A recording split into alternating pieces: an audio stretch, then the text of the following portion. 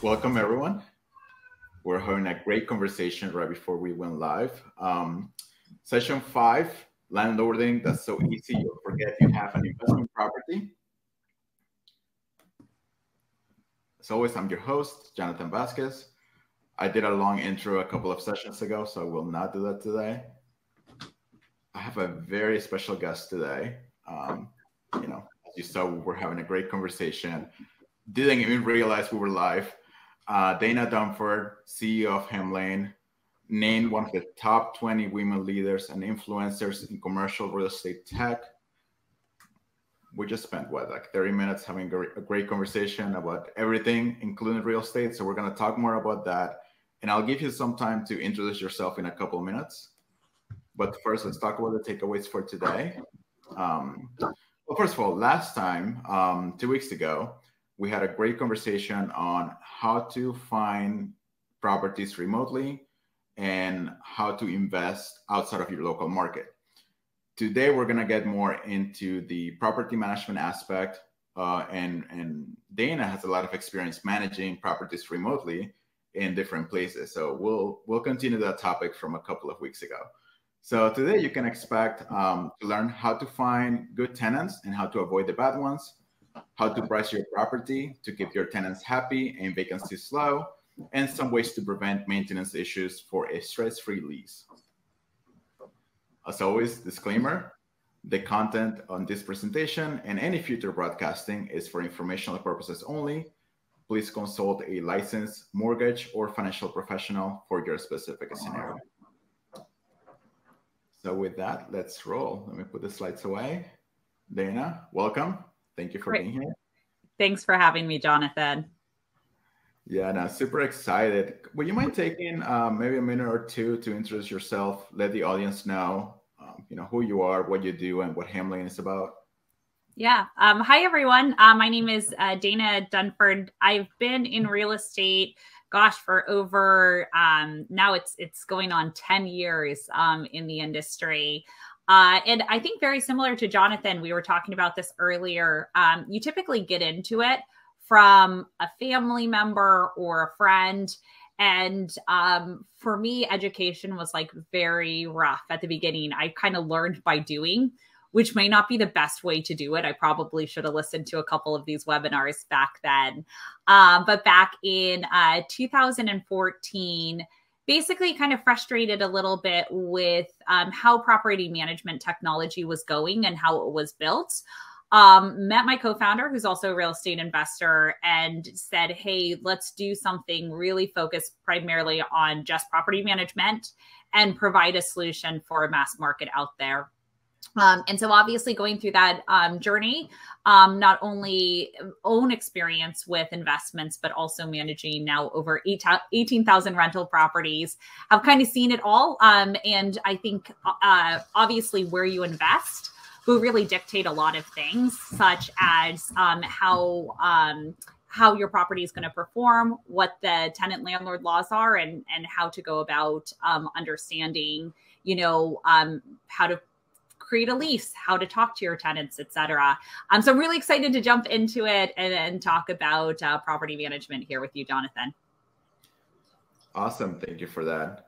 Um, I'm sorry, can you repeat that number again? How many properties are being managed on Hemlane currently? Over 18,000 rentals.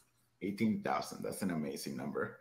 Um, let me ask you a couple of questions. Um, well, actually, before we even get into that, you were in tech for a while before you started Hemlane. Mm-hmm what drove you to start building something out in the property management space versus something else? Yeah, so honestly, I could have built uh, something in any sort of industry. I felt property management and real estate was about basically 10 to 20 years behind other industries in technology. Um, so I saw a massive opportunity there and I could have gotten passionate around anything. It was really solving a big pain point and also changing the industry rather than layering technology on top of the existing industry. And I think that was really important for me was to say, uh, we're not just going to go into this to say, oh, you know, here is software to make yourself more efficient we're actually going to completely change the mindset so that more people would invest in real estate. And um, you know, my background uh, first, I'd I'd worked at a company called Symantec in security software. When you do over 300 million of annualized payments, um, which is what Hemlane does, you realize how important security is. Um, so that was good for my background. Um, but then I worked at Apple, and at Apple, it, you always really work focused on the, the user experience and providing something really seamless where essentially you didn't need an, a user manual. It told you what to do at the right time you know it made it incredibly easy to function your life as a consumer um, and the day to day and made it more pleasant to have these conversations jonathan like you and i are having today where we almost feel like we're in the same room. We can see each other and see each other's expressions but you know we're across the country. You're in florida and i'm in california and so wanted to do the same thing with property management, um, knowing our investments were out of state. Wanted to take that same, hey, how do you provide that feel of having a presence somewhere, even though you're not there, having an, a, a connection to someone, even if you may not be there, was super important. And then I went after Apple to Nest. Nest is home technology and I thought it was fantastic that from my phone, I could see, you know, everything going around the cameras outside my house. I could control my thermostat when I left the house and when I got back in. And that home technology part got me really fascinated about kind of next generation property management. And, you know, if there's a leak, how could you detect that? Beforehand so the tenant wouldn't be responsible for that. You would have um, smart technology to do that. And so, kind of blending that whole background from Symantec to Apple to Nest took that into the prop tech space into uh, what is Hemlane today to create a better experience for property management. Awesome. That's amazing. I love the passion.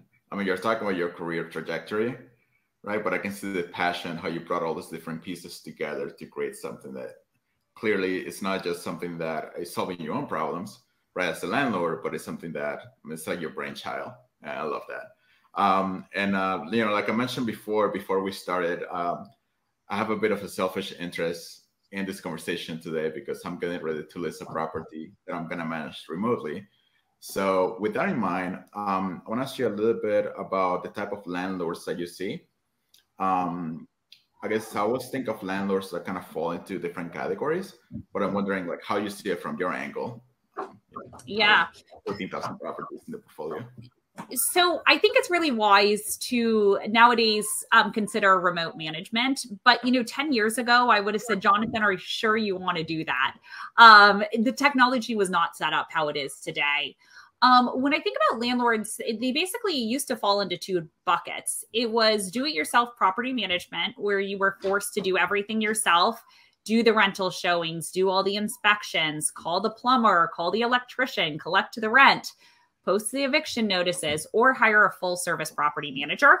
And it was only those two. And a full service property manager would essentially take the keys, do everything for you, and send you the rent in the mail now there's been this transformation, especially as more folks are looking to invest remotely, as well as folks wanting more transparency into their properties.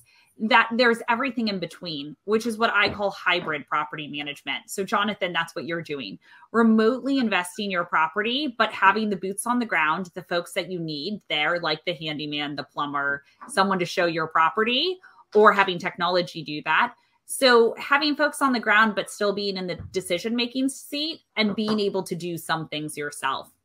And so that's really the transformation we've seen. If you take a step back and just look at the market today, 72% of rental properties are self managed. So they're not using a third party to manage their rental properties. And why that fact is so important is we don't actually see that shifting. It's not like more people are going to property managers as technology gets better. If anything, they're like you, Jonathan, where they say, Oh, I'll go invest somewhere else and I'll still be able to manage my property myself. And so that is a, a transformation we'll continue to see over time.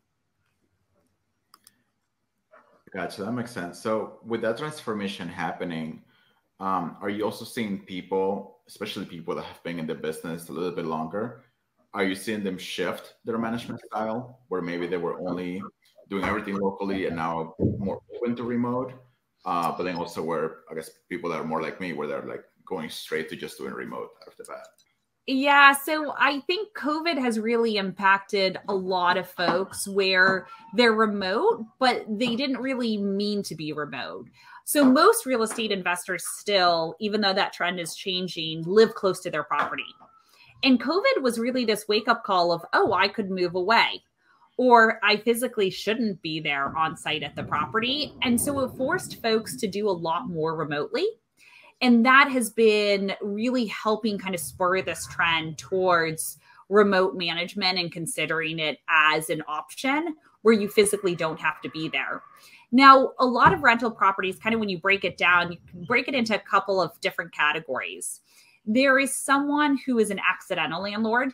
They got a property passed down they decided to hold on to a property, they purchased another one, but they didn't actively look to invest in this property for the sheer sake of it being a rental.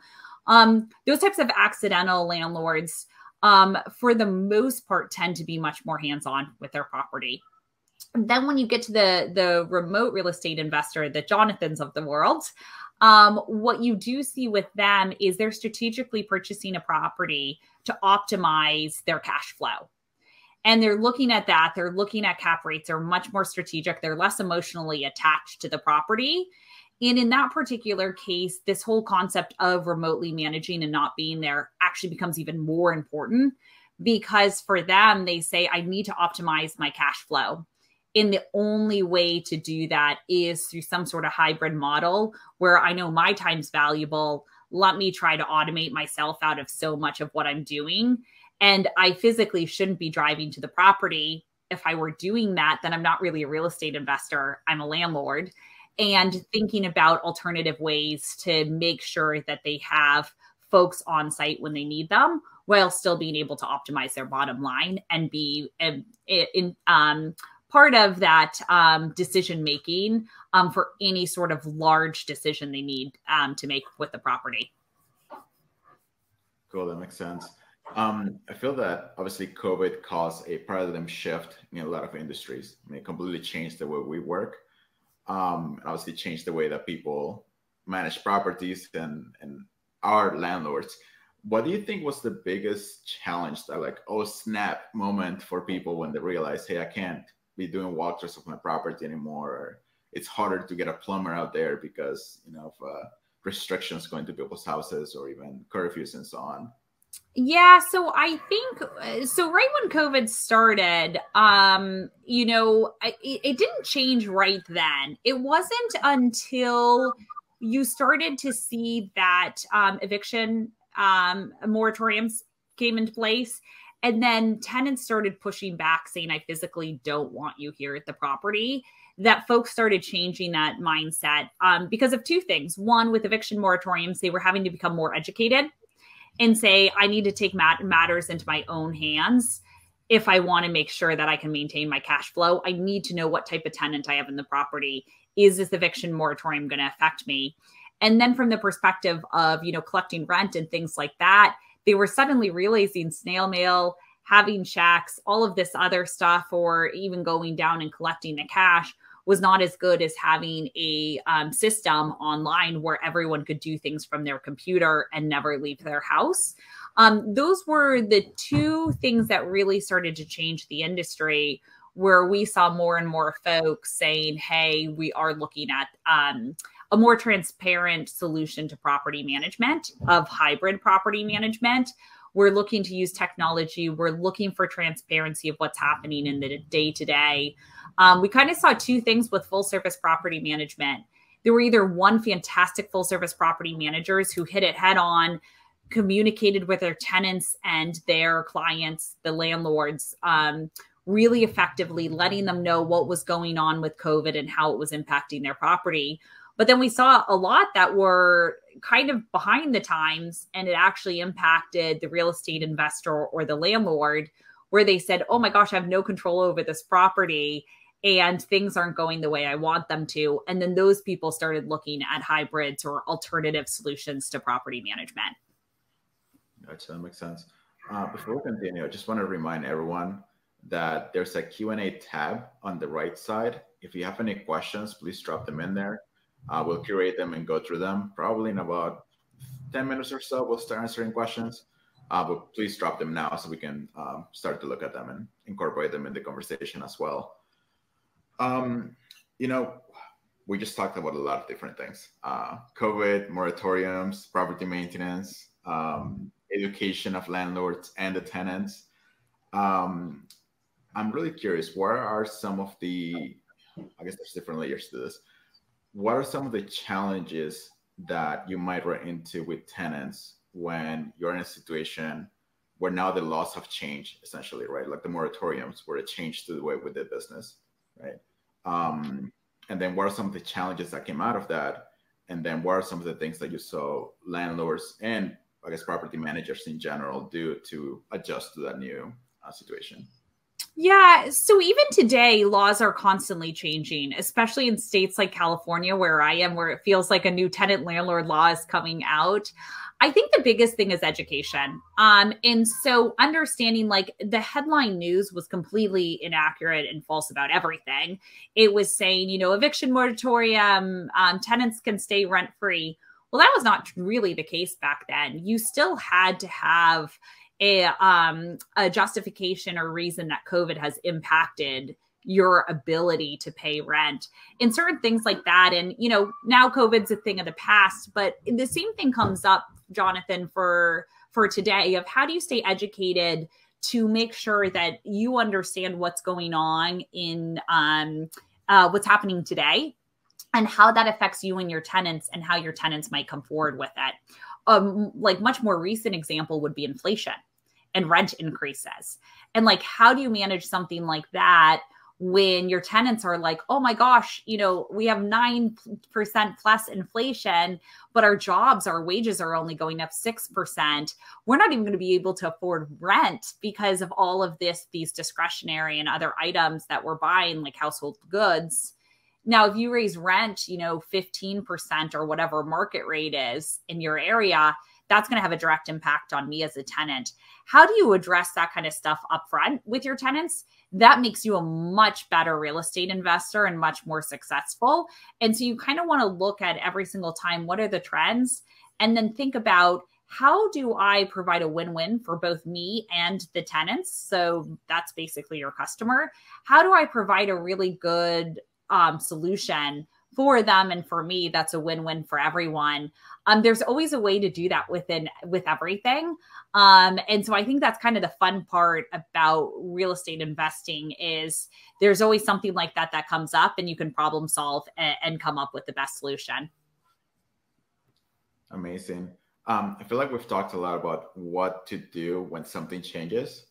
I want to take it back a little bit and, and, talk about the proactive side. What are some things you can do before something changes? Like, what, what are some things you can do on the lease or in tenant screening?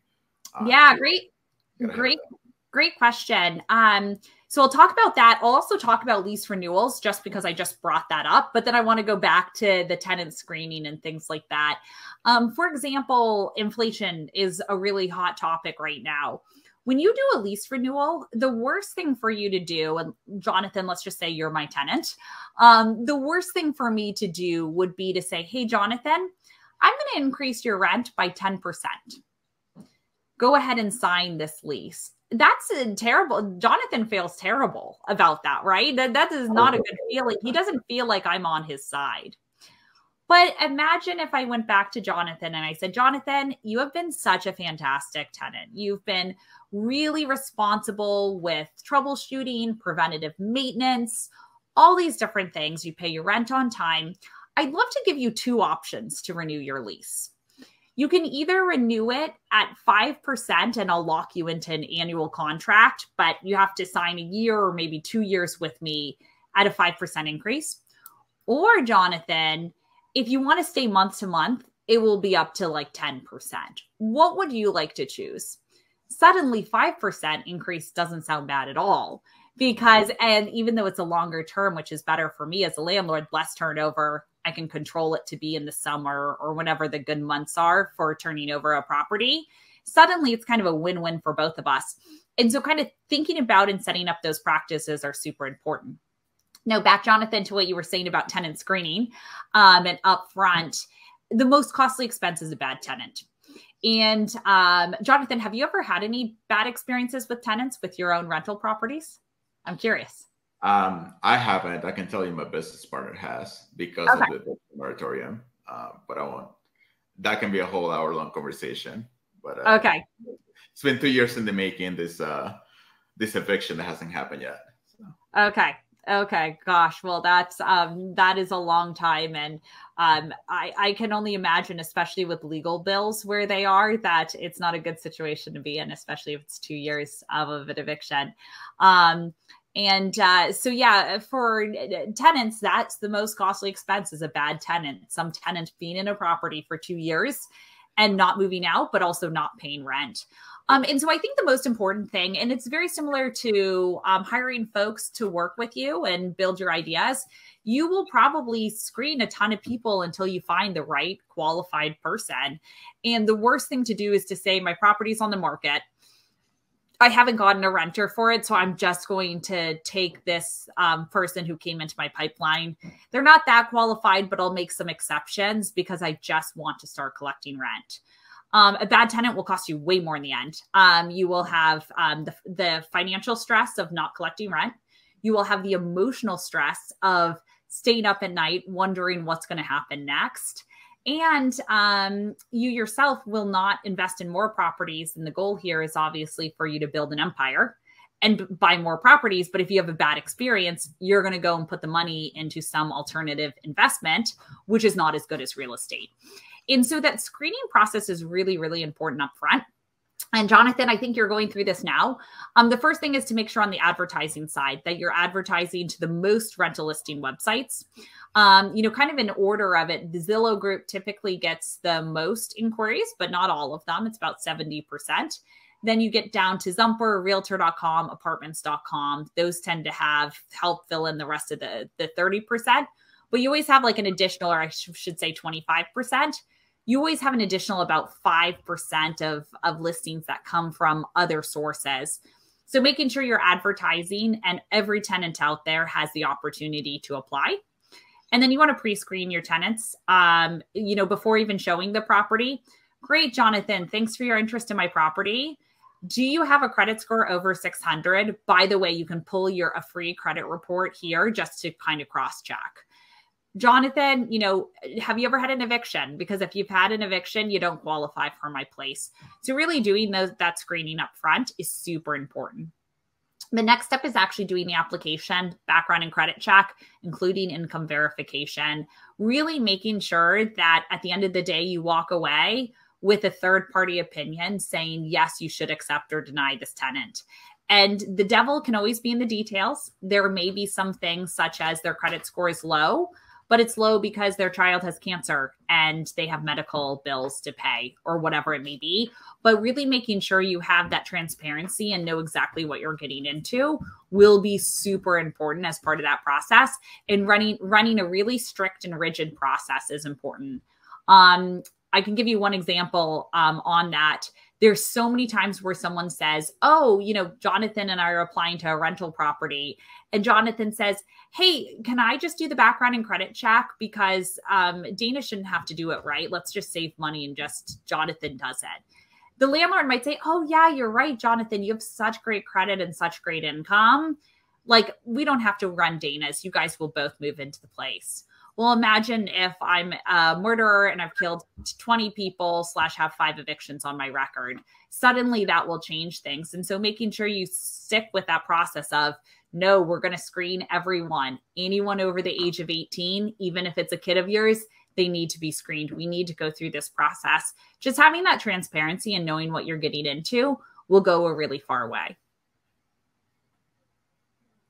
That makes sense. Um, that was a lot. Thank you for that. Um, I have so many questions that came out of that answer. Okay. Um, a question about, I guess, more so of your personal experience or your personal view on things, if that's okay. Yeah. Um, what do you feel is more relevant, the credit score? So assume that income is more than your minimum requirement. They okay. far exceed your income requirement. Um, what's going to have more weight to accept a tenant?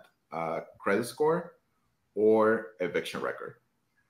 Eviction record 100% um the reason is if something's on your uh, eviction record, that not only means that they brought the tenant to court, but the tenant lost. and a lot of evictions I know don't actually get brought to court, so there's no record of it. Let's just say I'm your tenant, Jonathan, I'm not paying rent. Okay. Will Jonathan, uh, you come to me and say, Dana, where's your money? Right? Like, well, obviously you wouldn't say that, but like, hey, you owe me rent and you haven't. If I tell you, hey, Jonathan, by the way, like, I can't pay rent, I just lost my job, uh, my mom passed away, whatever has happened.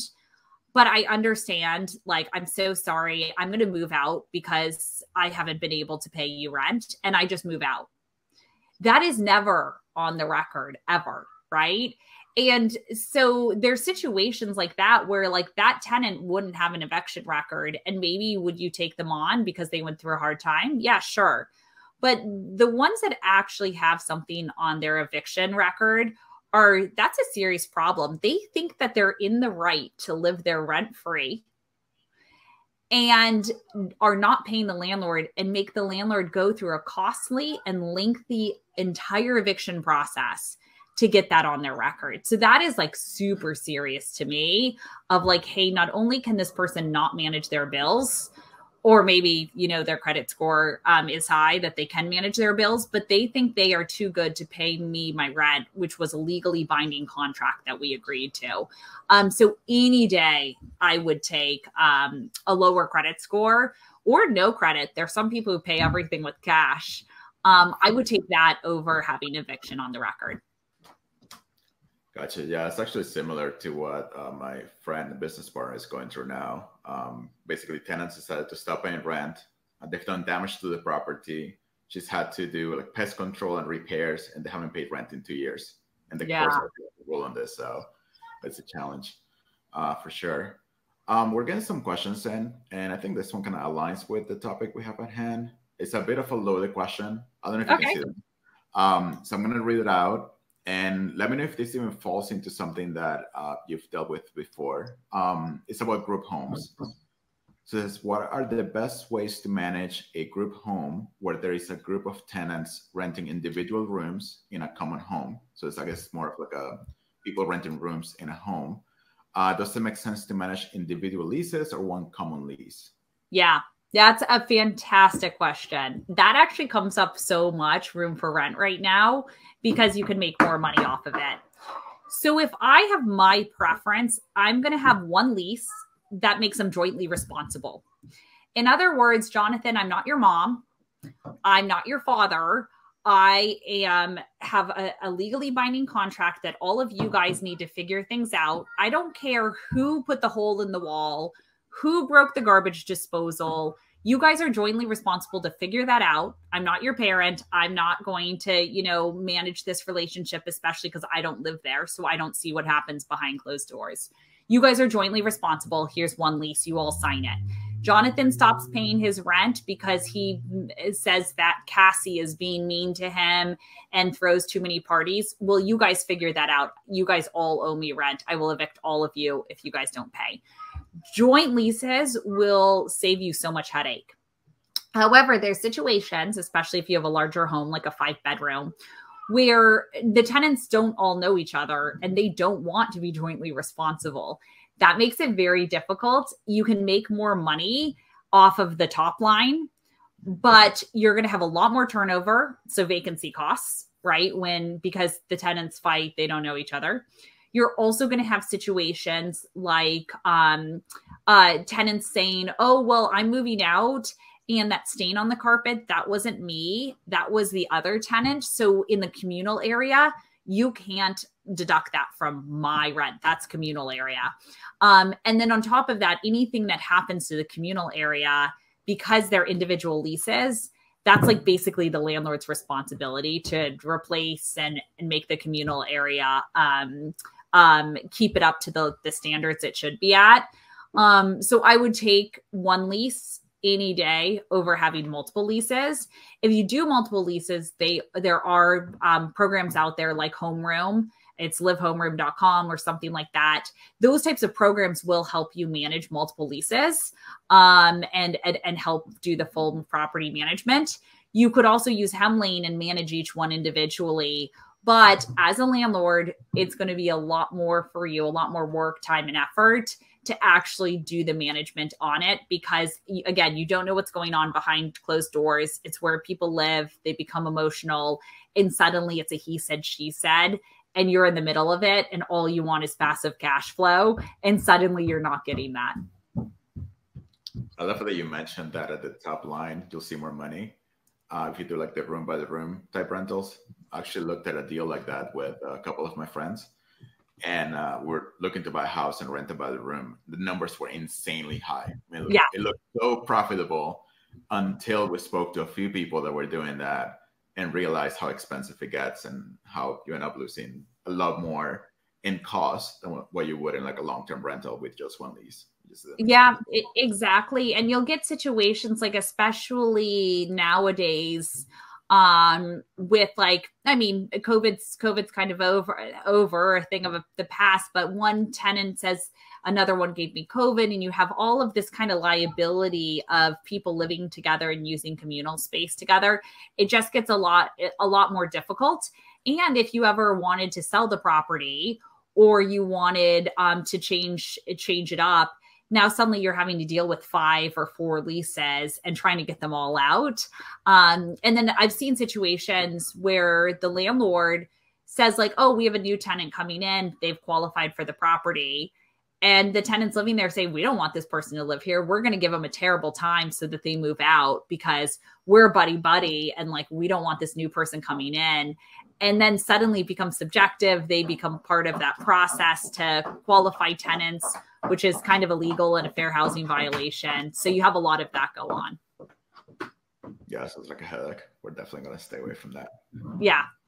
Um, we got a few more questions coming in. Uh, let's see if we can grab this one. Uh, you're okay with this one. This one says, can you comment on areas, like state, county, etc., that are more advantageous to landlords than others? Oh yeah. So where you are, Jonathan, Florida is much more tenant friendly. Um, same with Texas. Um, basically, there's actually a map. Um, we have it on um, uh, hemlane.com forward slash resources that shows tenant state friendly states versus landlord friendly states. Actually, you could also just Google it tenant versus landlord friendly states and get an image to see the states that are very, very tenant friendly are California, um, Washington to some extent, New York, um, uh, Illinois. So sh- because especially because of Chicago, you'll see in some of those areas where it's incredibly tenant friendly. It's not necessarily a bad thing. It doesn't mean it's a terrible place to invest, but you just have to really make sure you understand tenant landlord law. For example, in California, they actually restrict how much you can increase rent. So we have rent control where there's caps of how, how much you can increase it. And so certain things like that just make it a little bit more difficult to do the management. We also find in those states that are tenant friendly, eviction processes take a lot longer and are much more costly. Of course, you can mitigate it by doing everything up front so you never have an eviction but we definitely see that and so if you could go anywhere um, definitely look at the the tenant or the landlord friendly states first I would definitely add Massachusetts, uh, definitely the Boston area to the tenant-friendly um, states and areas. Um, I want to talk a little bit about pricing, and I think this goes really well with the whole um, cap on rental increases. Yeah. What are some things that you can do? Hmm. It's a two-part question.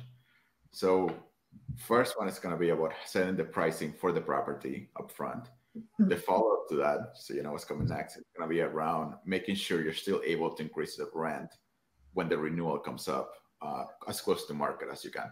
So let's go with the first part, which is how do you figure out what the right pricing is? And again, trying to attract that right tenant that's not going to give you, you know, silly issues, uh, being able to not have a long vacancy. How do you come up with the right pricing strategy? Uh, is it something? It doesn't vary by market. Yeah. I love working with real estate investors because they're very non emotional, where they just look at the numbers and say, this is what the rent should be. Oftentimes if you're an accidental landlord where it was like the home you grew up in or um, uh, a home that um, you acquired through like a trust or something, um, they become a lot more a lot um, a lot more unreasonable when it comes to like what they think the rent is. They're like, oh, well, this home has gr- granite countertops and the other comparable property doesn't, so I can increase the rent by five hundred dollars a month. No, you can't. A tenant is not going to care as much about those granite countertops as much as you do. And so I really do find that um, working with real estate investors, if you've done your pro forma up front before purchasing the property, you already know what rental comps are in the area. Don't try to do this. Oh, here was the rent last year, and inflation is up by this amount, so I'm going to put the rent at you know last last year's rate plus one plus or times one plus inflation. No, no, no, no, no all you care about is putting yourself in the tenant's shoes. A tenant goes on to Craigslist, Zillow, Zumper, apartments.com. They search your area, they type in two bedroom, at least one bathroom or two bathrooms, and they look at everything that's there. And so what you have to do is just go on there and say, what are the other properties in the market going for? And how does mine stack up to that? Is my rental rate going to be competitive? because the worst thing to do is put it on the market too high. Five days go by, you have no tenant leads, your property listing has dropped to the bottom of the listing websites. You start cutting the price down. Tenants see that as like fear, like, ooh, they're price cut. Maybe I could cut it some more. And you always lose more in the end. So do that research, see what else is in the market, and don't get too greedy on it. It's better to you know drop it by a hundred dollars a month or something to get that lease signed versus keeping it on the market for two months and losing four thousand dollars in monthly rent for that year because you were too greedy with an extra hundred dollars or two hundred dollars. No, makes perfect sense. Now, this is actually my question because something I'm considering doing. Yeah. Um, I got this from a friend. Um, so the idea is that when you're in a market where you have rent control, so you're capped at a 5% increase year over year. But the actual market is going up, let's say 10, 15%. Yep. Right. Um, this is what it was suggested that I could do. Just curious if you're seeing other people do this and if you like vouch for it. What you can do is let's say you can price your property at five thousand dollars a month. You price it at six thousand. Then you give the renter a credit for a thousand dollars a month for the duration of the first year of the first year. Yeah, I think there's there's um two things there. One, I'm not a lawyer, so I can't provide legal advice. But in most cases, in most states, I've seen that that you can definitely do. Um, I always try to be transparent with um, tenants and say like, hey, you get that first year discount, but in the future, you know that could go away, just to make sure they know what they're they're getting set up for. However, um, just it, it, it, could be a little bit shady to the tenants and also how you set it up because you're not going to want to put it on market right now for $6,000 a month. If you know it's truly market value for year one is at 5,000 and you're expecting it to go to 6,000. So you're going to want to put it on market for 5,000 so you get more demand because if you do 6,000 tenants are going to say it's too expensive. Then let's just say Jonathan you come to me as your my tenant and you're the one who's qualified. And I say, Jonathan, I know I listed it at $5,000 a month, but I'm actually going to put your lease for 6,000 and then give you a $1,000 credit. A tenant might be like, "Wait, what's what's going on here?" You know, the dynamics. So it might be more confusing um, than it's worth. However, if you have a lot of popular demand and you say, hey, this is what I'm doing, Jonathan, do you accept it? Then you would be the tenant to move forward. You're the first qualified. Then, yeah, may- maybe you can definitely do that. I have seen that type of thing, especially with adding on like the pet rent and stuff like that and considering it rent um, and then being able to alter things that way. Um, so I've definitely seen that happen. Um, I always just like to be really transparent with the the tenants to to kind of let them know why. Yeah. Gotcha. No, I'm, I'm really happy with the angle you took on that because that was uh, the conversation I had. Uh, yeah. How do you how do you present this? Is this how does this sound? And is that really is it the right thing? Is it the right thing to do? And does it even sound right to do it? Uh, but it was an interesting approach to not really get around the rent the um, rent control, but more so be able to adapt to it uh, over time. Yeah. Um, yeah, with the idea I, being, you know, you're able to keep the tenant longer, right? That's the idea. Yeah. You want to keep them longer. And I do have to say that is one thing. Like the tenant is your customer. You do want. I've noticed if you have a great relationship with them, it's going to be something where they give back they like help you out on things if you're helping them and so a lot of times you just really want to start off the relationship on a really positive note um, and not kind of try anything shady that they may be like, oh, I got screwed over. This landlord is is such a slumlord type thing, and and not to say that this landlord is. They're probably they're probably fantastic, but I try to be really transparent and honest with them, and that always at the end of the day helps because you know, then you just continue to keep the same tenant in, which is much better than losing $5,000 due to vacancy because I had to turn over the unit because the tenant didn't like me. Absolutely, 100%. Uh, we got a few more questions coming in. Let me um, publish all of these and we'll go through them. Um, we only have about five, five, let's say 10 minutes left. So let's see if we can get through these. Great. Um, all right. So from Sammy Hill, uh, you mentioned a smart home technology to detect issues early. What are some examples of those uh, smart home technologies you can use?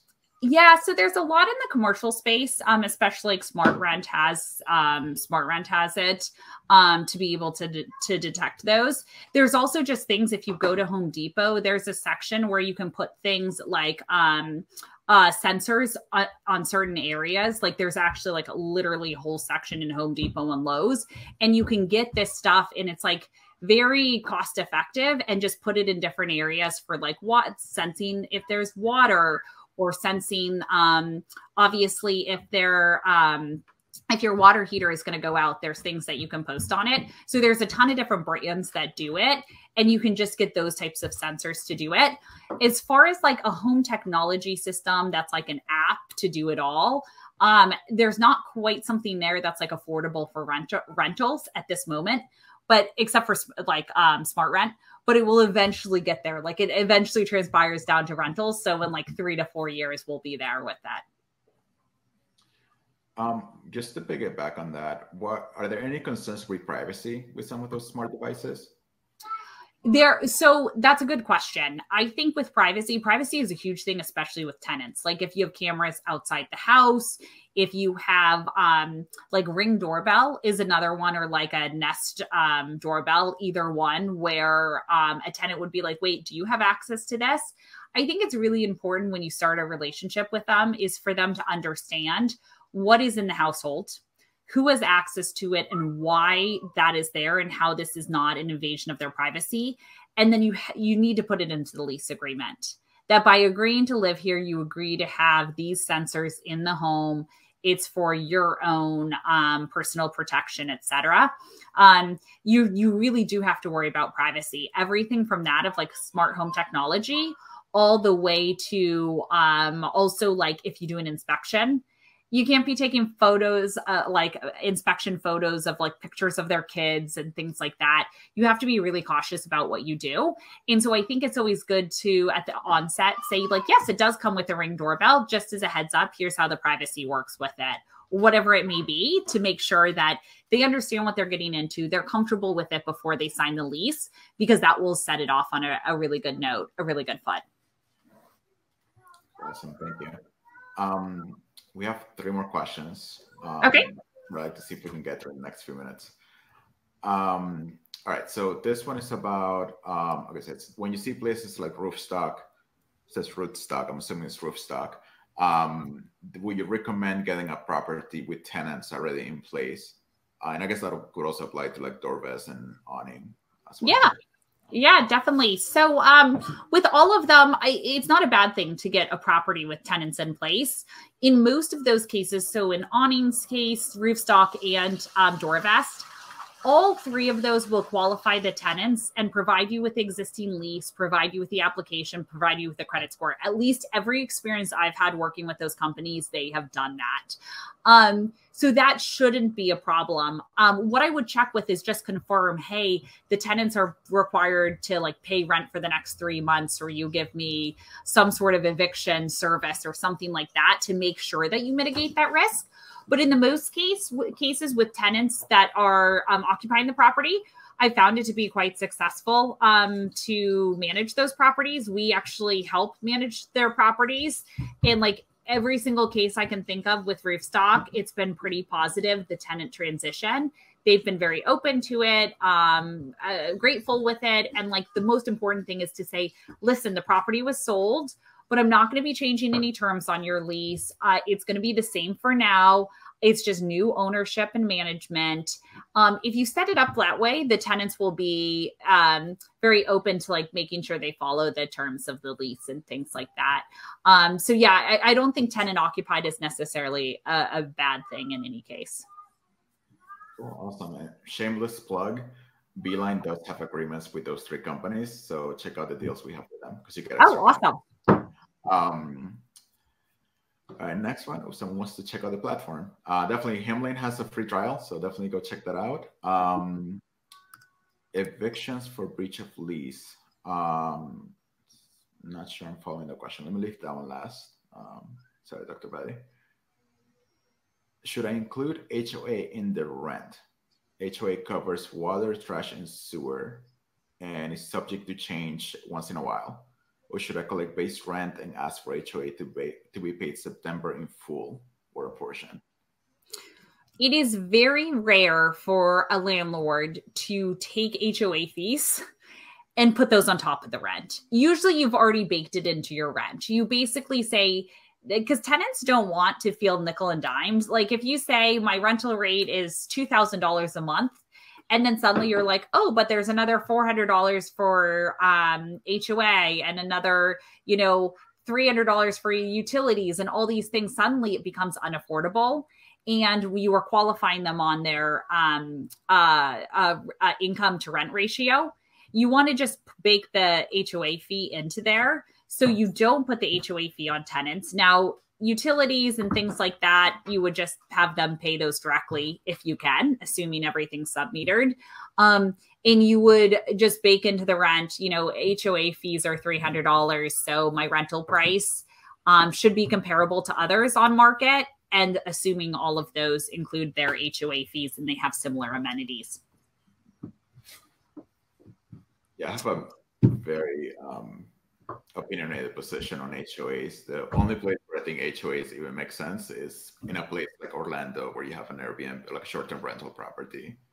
So you don't have to worry about anything, and then you don't worry about it. But yeah, and and, and, and jo- Jonathan, I couldn't agree more with you. I think most real estate investors try to avoid HOAs because again, you don't have that control. Like I've seen HOAs increase costs like 50% year over year. And so then you're forced to put that into your rent increase for tenants. And it's something you can't really control. I've also seen HOAs run really inefficiently and ineffectively. Um, and like, it's like, what is all this money going to? We're paying you quite a bit. Um, so yeah, I, I definitely do agree with you that it, if you can avoid an HOA, um, it, it, it's probably better. Um, of course, not in all cases, your strategy might be different, um, but there's a lot of real estate investors opposed to it. For sure. All right, last question, I promise. Um, okay. Uh, from Danny, I've had many experiences with repair uh, maintenance costs varying from contractor to contractor.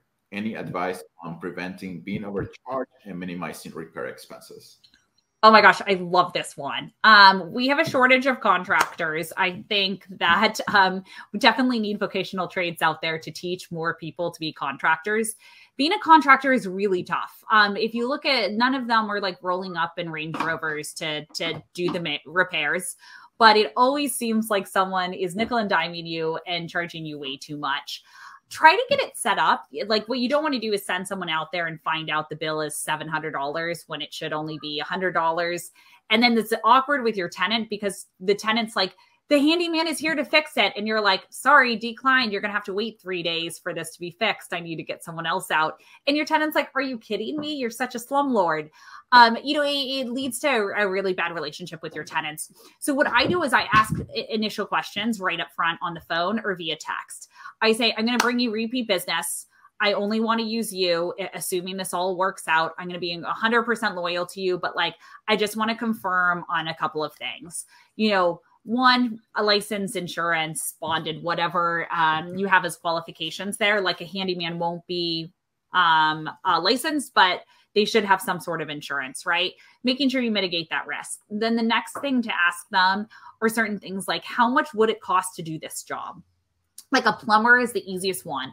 How much would it cost if you were to replace a garbage disposal? Now you know that like most times handymen could do that, but figuring out like what would be their cost. Okay, does that include parts? Do you mark up on parts? If you can ask a couple of different examples and they say it's going to be $450 to replace a garbage disposal right off the bat, then you know like this person's too expensive. But you can ask that and be like, hey, my garbage disposal needs to be replaced. How much would that cost? Something that is like so standard and see how they respond to it. You might not even need that done. You're just trying to build up your vendor list, but you can use that to understand are they going to price gouge me or not? And then it's really important to know like do you do do you go out free or is there a service call? Most have service calls. In one quick tip, I found that vendors who don't have service call rates charge you so much when it's actually time to do the service. So they say, Jonathan, I'll go out for free to your property. And then they're out there and they're like, it's $450 to fix this, hoping that you're going to say yes. And that's how they make up for these the service calls. I've actually found, and this is just through our data, those that have service calls where they're like, it's 60, $67 and that can be applied towards the work being done I found those people, the overall cost tends to be less. Um, so kind of ask those specific questions of certain situations of, hey, you've driven out, what's the full cost, both from a service call rate as well as the work being done. And then um, you can figure it out there. Again, it's going to be trial and error working with the people. Like you need to get them on site, you need to see, and you'll build up trust over time. You won't have that trust until you physically have them out there a couple of times. When you find a good person, keep them. Um, you'll also find sometimes you need to change them out. They get too busy, or um, I've seen ones where they like, you know, suddenly uh, become an alcoholic and don't show up the next day and you need to change them out. So you want to constantly stay on your toes and you want to be really professional about it throughout the whole process. You don't want to waste their time though. You have to understand these people are really busy, have low margins. They're like driving all around the city trying to get work done. Um, and so you really want to make sure you're really professional with like what questions you ask initially and then testing them out, getting that business, seeing the quality of the business as well as the cost. Um, you usually don't want to use the cheapest contractor. They usually cost you more in the end. I found they do things incorrectly. Um, and so there's always that balance there. There's no perfect answer. And I think, um, you know, that's part of kind of the fun of building up your network and building up your team um, is that it happens over time. For sure. Um, I would just add also, if you're remote, you can go on like the Bigger Pockets Facebook group. And I recently discovered Reddit. It's a great place to get referrals for service providers that are not in your area. So definitely check that out. I didn't know that about Reddit, Jonathan. That's fantastic. That's my new discovery. I've been avoiding Reddit for years. I just never got into it. And yeah. Um, I just did a Google search. I forget what I was looking for. And it took me to a, a Reddit group. Okay. And I'm hooked. so I'm all the real estate investing and like homeownership, landlord and DIY groups now. So yeah, yeah, totally great. All right, we're a little over the time that I said we would take today, so I want to be respectful of your time. I did want to offer you like 30 to 60 seconds to pitch Hemlane full on, uh, tell us everything about it, and uh, and then we'll close out. Fantastic. Thanks, Jonathan. Um, so, for those of you who are listening to this, um, Hemlane is everything between DIY and full service property management. We have flexible packages um, with a free trial. So, you can go on to Hemlane, H E M L A N E.com and pick what's right for you. We have everything from software to automate yourself out of the day to day to um, offering add on services and packages that take you out of the day to day. We have things such as 24 7 repair coordination. We do all the troubleshooting. We close out 7% of the requests before a service professional has to even be involved in it. Um, we help pay the service professionals on your behalf. We let you take a back seat. We also have things such as delinquency services. If a tenant's late, we'll serve the notices on your behalf for your specific region. Um, so there's a lot of fun things that you can do with um, Hemlane. Everything from um, just kind of automating yourself out of the day to day to being much more hands off and going to Bali on vacation and taking a back seat for however long you you want. Awesome. Thank you. Like I said, I'm, I'm doing the trial right now. And so far, I like it. Awesome. I'll be using it. Um, just real quick before we close, I know we didn't get to all the questions. I will follow up with, I think I only missed two. Uh, one of them was legal advice. So sorry I couldn't really get into legal advice territory. Uh, but I think we can answer the other one via email. If you have any other questions that you didn't get a chance to type in or you were too shy to ask, you can send them to you can go to go.makeabeeline.com slash question and submit it there also if you're looking for financing for a deal you can also go there we'll put you in contact with a loan guide in two weeks september 21st uh, actually it's two weeks in a day september 21st we have the last session of this real estate investing bootcamp and it's going to be all about tax planning with the CPA dude. And I am super mm-hmm. excited for that one because I mean, I don't know about everybody else on, on this uh, call right now. We had like 40 something people at one point. Um, I try to minimize my taxes. So we'll be talking all about minimizing taxes as a real estate investor. So please be there. Dana, thank you so much. I feel like we could have talked for like six hours about property management. I hope we get to spend a little more time together some other time. Uh, for now, thank you so much, and uh, you know, hope to chat soon. Great. Likewise. Thanks so much, Jonathan. Thank you. Bye. Thank you all.